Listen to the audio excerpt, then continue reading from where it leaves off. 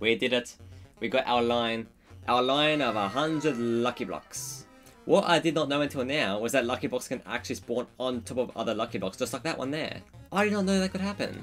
Because yeah, I just thought they could spawn only on like regular blocks, which is pretty interesting. But yeah, enough of that waiting. Let's go. 100 Lucky Blocks. What are we gonna get?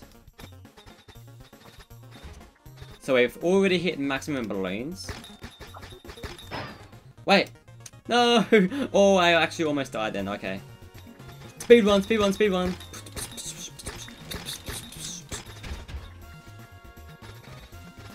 Ah, can't see. Okay, nice. Okay. Oh, double Vulcan, double hack. Okay, okay, okay.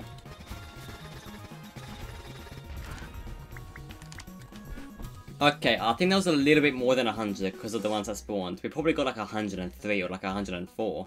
Five portable bridges. Always a fun thing. Where'd they go? Anyway, I think that was a pretty interesting experiment. I really liked it. Just boom, just blow up everyone. That's gonna be the end for that one. Leave a like if you sub, leave a like if you subscribe, and as always,